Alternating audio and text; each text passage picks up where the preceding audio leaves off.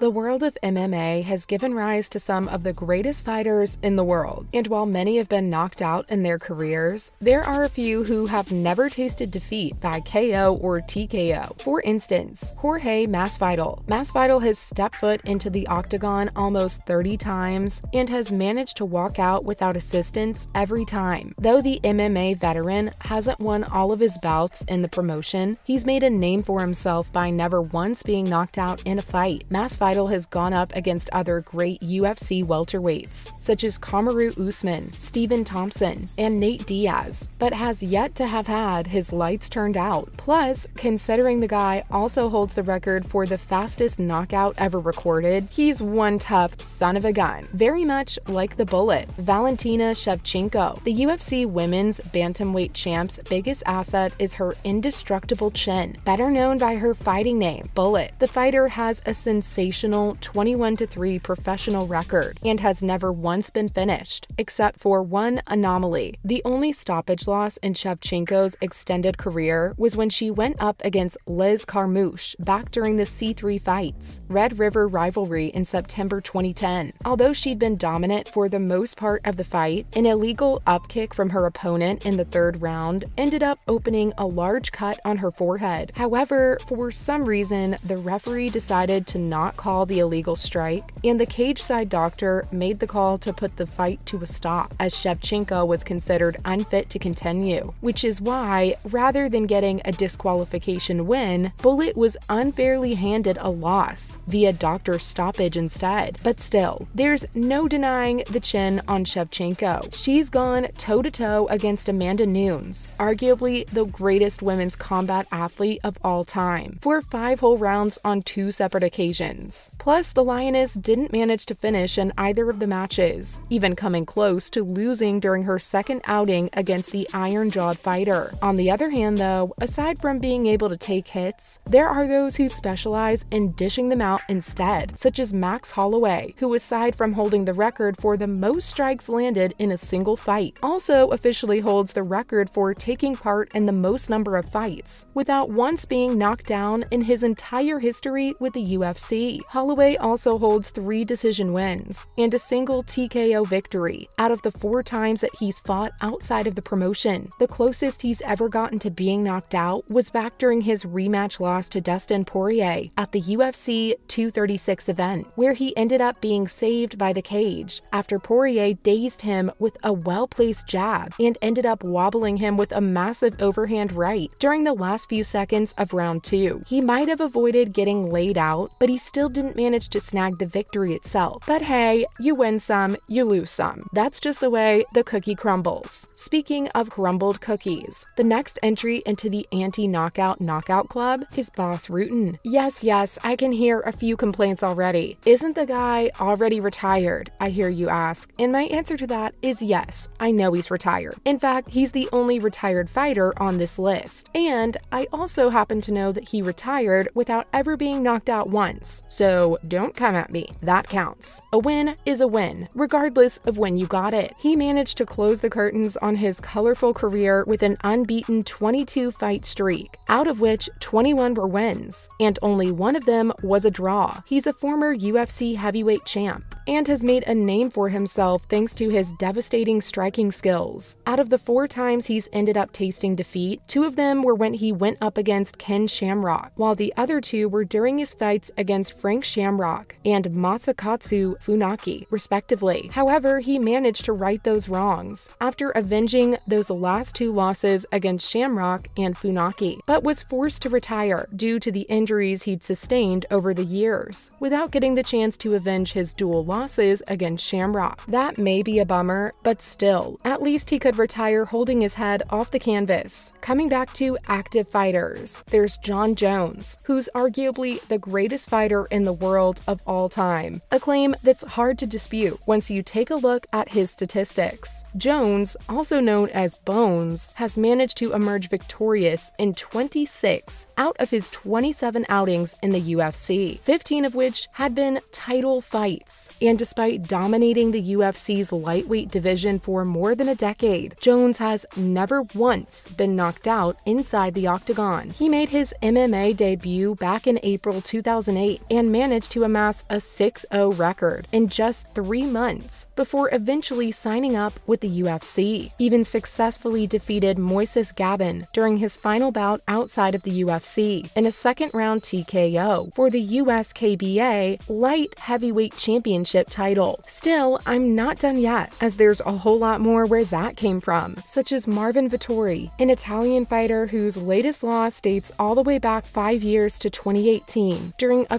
closely contested split decision loss against none other than the UFC middleweight champion himself, Israel Adesanya. His only other defeat inside the octagon came during his second outing with the promotion after he ended up losing to Antonio Carlos Jr. at the UFC 207 event. The two other remaining career losses from Vettori's career also came due to decisions while he was competing on the regional Italian circuit. Still, however, not a single knockout loss in sight, so it still counts. Same was the case with Clay Guida, who was the first Strikeforce lightweight champion in the promotion's existence, holding the title until he was eventually defeated by Gilbert Melendez at the Strikeforce Revenge event. Despite that, he continues to be one of the most entertaining fighters in the sport, always bringing an enormous amount of energy paired with a seemingly bottomless gas tank. Plus, he sports a granite chin of his own. I mean, just ask Diego Sanchez. Speaking of